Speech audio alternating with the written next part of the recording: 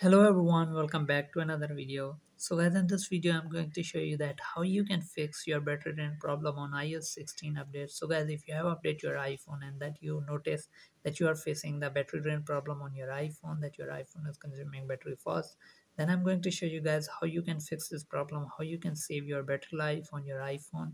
So let's get start the video without wasting any time. So before we start the video guys hit the like button and subscribe to the channel for more upcoming videos so the first step is make sure that guys you need to turn off the Wi-Fi and mobile data if you're not using. So guys when you are not using your Wi-Fi and mobile data make sure that you turn off the Wi-Fi. And the next step is go to the setting again and turn off the Bluetooth. As if you're not using the Bluetooth also you need to turn off the Bluetooth. So guys the next step is adjust the iPhone brightness.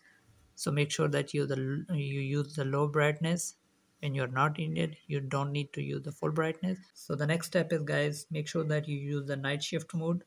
So to enable the night shift mode you can hold on the brightness and then simply turn it on turn it on until 7 a.m so so after this guys the next step is enable the low power mode on your iphone. Make sure that you use this. It can save your battery. And the next step is turn off the background refresh app to do that, go to the setting, click on general, then simply click on background app refresh. Now turn it off. Now the next step is make sure that you update your iOS apps daily. So if you have updates, any apps or updates are available, you need to update your apps. Go to the app store, then click on user icon. As you can see, so you need to update your apps every day. Make sure that there is no and left.